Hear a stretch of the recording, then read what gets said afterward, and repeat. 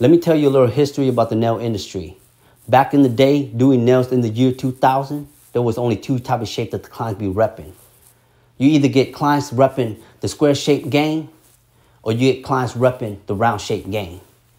These two type of client, they don't see eye to eye in the salon. Square shaped nail client be throwing up hand sign repping their square shaped shapes.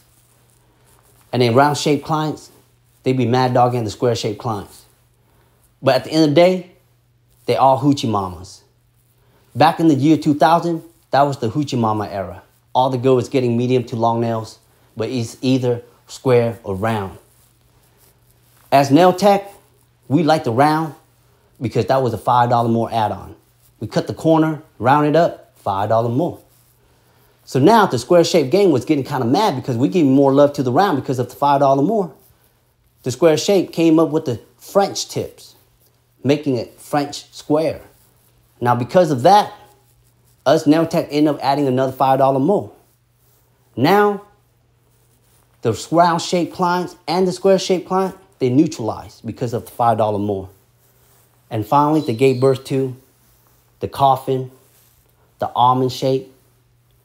And that's how you get all the new shapes nowadays, y'all. And that's the history of where the square and the round shape game collide and unite.